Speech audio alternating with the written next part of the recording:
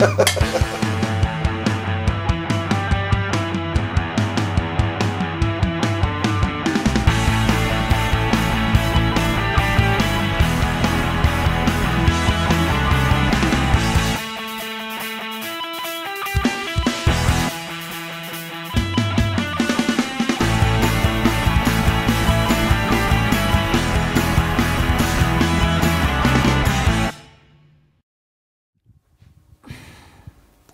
Idag är den 12. Då ska vi... Alltså vi måste julstäda. Det är så Anna? smutsigt. och- Anna, Ja. Hej, Hej! vad gör du?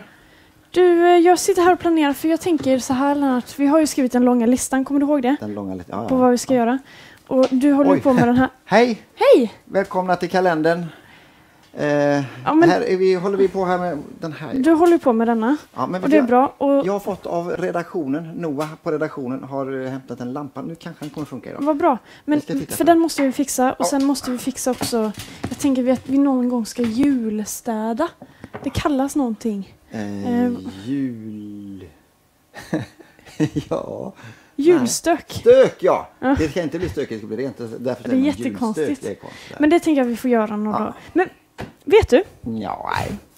Nej, det är inte så lätt för dig att veta. Idag så har jag faktiskt ringt hit en gäst. Nej! Mm. Kul! Det är kan ni faktiskt- få kuddarna som har ramlat in här. Va, Ja. Vem då? Jaha, Oj. Vem ska komma? Nej men det är en eh, kompis som hon var med en gång tidigare liksom och hon är ganska intressant att lyssna på. För hon har varit med om en väldigt häftig grej. Sådär. Så hon skulle komma idag och idag är det ju, klockan är ju se så Vad är mycket. det för datum då? Idag? det är alltså, aj! Det är den 12 idag. Hallå! Nu kommer hon. Hej! Hej! Och vad länge sedan det var jag såg dig Hanna. Ja, Hej, hej! Hej, Lennart. Lennart. Jag heter Maria. här får du. Jag heter Maria. Oj, hej! Hej Maria. Det är lite kyligt utanför faktiskt. Känner du igen henne? Ja, ja, hon har varit med i kalender. Hon har varit med i kalendern ja. Ja, det är, det är jag som är Jesus mamma. Ja, just det. Ja, Och jag tänkte att vi skulle ta hit henne idag så kunde hon liksom få berätta lite. Du var ju med i kalendern och då Ja, var det bland precis. annat din, ditt bröllop hade vi. Eller hade vi det? ja det hade vi. Ja men det Åh. hade vi. Ja, Men det vad var en heter din lycklig man? dag. Han heter ju Josef. Just Ja, det. vi har varit gifta i flera år nu. Jättemånga år faktiskt. såg ett avsnitt, det var på er första dejt. Ja, det, ja, det var jag lycklig, det var jag. Ja, Ja, Han bjöd mig på fisk och, och clementiner. Det var jättegott. Oj. Ja, Ja. vilken man alltså. Ja, det vill jag säga. Det. Han, är, han är jättefin. Ja, och, och så var det någonting också med möhippa va? Ja, Och så var du ju hos barnmorskan. ja. Alltså, det, var, det, det är ju det som var så konstigt eh, eh, då. För att det kom ju en ängel till mig och sa att, eh, att jag skulle föda Guds son. Och då tänker man, det går ju inte. Men för att jag var ju inte, det var innan jag och Josef var gifta då, så att det, det fanns ju inga möjligheter. Men, men så blev jag gravid, vet ni. Och, Men- och då föddes Jesus. Men hur var det egentligen? Om du blev gravid och sådär och det var Guds son, hur, var det lite läskigt eller hur var det? Hur fick du veta det för det första? Alltså det kom, det kom en ängel, han heter Gabriel. Eh, han har ganska långt ljust hår, skinande kläder. Som Gabbe? Ja, ja faktiskt ganska lik Gabbe. Okej. Eh, det var han faktiskt. Ja. Eh, och så sa han till mig så här, var inte rädd, eh, du ska föda Guds son. Det säger Men- änglar ofta. Ja, var inte rädd, det säger de faktiskt Men hela var, tiden. var du rädd då? Se- Ser du, vi är en ny kalender här nu. Du får hälsa in i kameran där. Tjena. Ja, bra, Tjena. bra. Ja. Men var du rädd då? Alltså jag var faktiskt jätterädd. V-. Hur vågade du säga ja till det här eller? Nej, men jag tänkte att om det här är Guds plan Mm. så, så, har, så har ju han faktiskt en lösning på det. Då behöver jag inte vara rädd.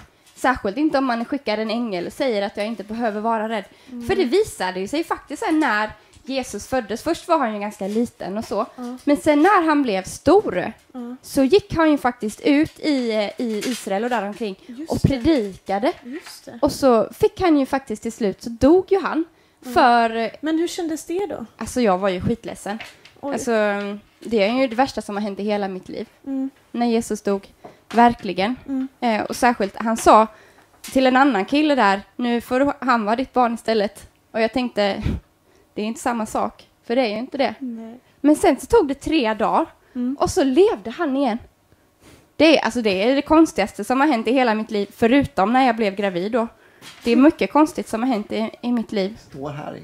Jajamän. Ja, hela storyn. Hela storyn står där i. Den Var är skriven Josef- på flera olika ställen. Var Josef med vid din sida hela tiden då? Ja, det var han faktiskt. Först så tänkte han kanske lämna mig då, för han trodde att det var någon annan Mm. som var pappa till barnet. Men sen så talade Gud till honom också eh, i en dröm. Mm. Eh, och då sa han, Maria, jag vill gifta mig med dig i alla fall. Och så, Så då var det, först var det ganska läskigt med ängeln och så Ja. var du kanske ganska ensam och så. ja, Och sen så var Josef osäker på ifall det skulle vara ni. ja, Men så blev han trygg i det. ja, Och sen så var du gravid i nio månader. ja. Och det kan ju ha sina effekter. Att Så jag man- mådde ju ganska illa då. Ja. Kräktes en del och tjock blev jag också. Och, och sen så födde du Jesus. Ja, i ett stall dessutom, bara Ja, en sån sak. just Det är ju in- inte klokt. Nej, det är ju inte klokt. Och sen så fick du vara mamma till Jesus. Ja. Och, Han var så snäll när han var liten, förutom en gång när han försvann i templet. Men annars var han jättesnäll faktiskt hela sin uppväxt. Jag kan tänka det. Ja, Mm. kan. Och sen så Mm. var det jättejobbigt för att han dog. Mm. Men sen så bör, uppstod han igen. Ja, precis. Eh, och då sa han ju liksom att, eh, att han skulle vara med oss alla dagar till Mm. tidens slut. Och det betyder att han är fortfarande med oss och mig och Det är er. jätteskönt. Ja, Men då kan man ju nästan tänka att även om det var ganska rörigt och så ja. med gravid och Jesus och allt möjligt Mm. så måste det ändå känns ganska tryggt att det var ju ändå, det blev ju bra till slut. Det blev faktiskt jättebra till slut. Och jag kände mig faktiskt jättetrygg hela tiden. Ja. För Gud hade ju en plan. Gud hade en plan med mitt barn. Och det är ju faktiskt eh, det bästa Ja, det är av det. allt. Mm. Då får man kanske lita och vila på att, uh, vila i att Gud ganska ofta har kontroll sådär. Ja, Eller han har nästan alltid det va? Ja, först så tänkte man det här kommer ju bli kaos. Men han, det var ju inte bara det att han ordnade så att mitt liv blev ganska bra utan hela mänskligheten blev ju frälst genom Jesus. Det. så att det var ju faktiskt en, en plan som sträckte sig eh, bortom mig till och med. Ja, Mm. Verkligen.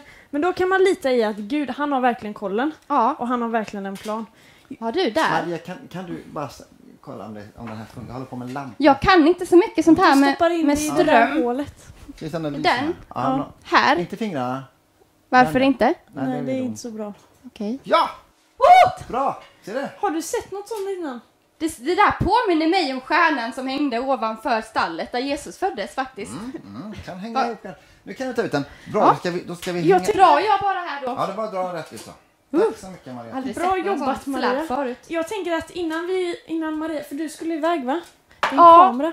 Ja, vi kan ta Kamera. en bild. Då tänkte jag att vi skulle Hallå, ta det en är bild. jag där i. Får man vara med på bilden här? Okej, då tar vi kort. Hej. Så, vad Den, bra! där, den får vi lägga upp Den någonstans. får vi hänga. Kan man titta? Vi hänger upp den här på väggen. Idolfoto. Det, Du var, får se, en, det var en du konstig får se apparat. sen när kalendern, du får ju kolla på det här avsnittet. Ja, ja, det får jag göra. Hur kan man göra det? Man går in på våran hemsida, på en dator. Jag har nog sett en dator. Ja. Okej, vi kanske får ta det här Vi kan sen. ta det sen. när vi- Kan vi göra måste det? säga hej då nu. Ja. Ja. Jag måste gå hem. Jesus småsyskon behöver få kvällsmat. Just det. Absolut. Mm. Men vi kan Eh. vinka in i kameran först så kan du sticka när vi har Just det. Så ha det bra alla hemma där så, så ses vi imorgon igen. Hej då! Och hej då. imorgon är det förresten 13 december. Ja, jag måste springa. Ha det bra. He hej då Maria. Hej då. Tjingeling. Visst är det 13 december då? Det är ju så här Lucia. Just det, det är det ja. Ses imorgon. Hej då. Det är bra. Hej då.